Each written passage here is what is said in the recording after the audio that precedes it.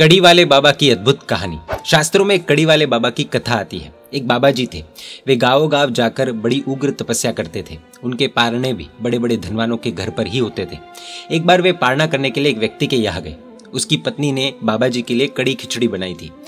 इन्हें कड़ी बहुत भा गई और जाने के वक्त व्यक्ति ने कहा कि बाबा जी हर रोज हमारे घर पर आना। हम हर रोज कड़ी बनाएँगे। आपको शायद कड़ी अच्छी लगती है। बाबा जी खुश हो गए और वे अगले दिन समय पर पाड़ने के लिए पहुँचे। उस दिन भी उन्होंने कड़ी ही ज़्यादा ली और पेट भरकर उसे पी ली। फिर तो ये रोज का सिलसिला हो गया। बाबा जी किसी अन्य गाँव जाने के लिए तैयार ही नहीं हुए। एक दिन शाम को ध्यान करते वक्त उन्हें कड़ी की याद आई और उन्हें लगा कि बहुत दिन हो गए। मेरा संन्यास मैंने कड़ी के कारण हार दिया। अगले दिन वे व्यक्ति के घर पर आए और उन्होंने सिर्फ़ कड़ी ही ली। गले गले तक उन्होंने कड़ी पी ली और फिर पूरी उल्टी कर दी। उल्टी की हुई कड़ी को ही उन्होंने वापस पीना शुरू किया। व्यक्ति तो देखता रह गया। उसने बाबा जी को रोका बाबा जी ये आप क्या कर रहे हो? मैं नई कड़ी दे दूँगा।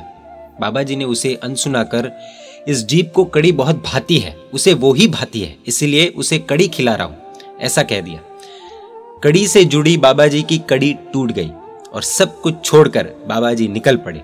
गुरु भगवंत पूछते हैं कि हमारी परिस्थिति कहीं बाबा जी के जैसी तो नहीं?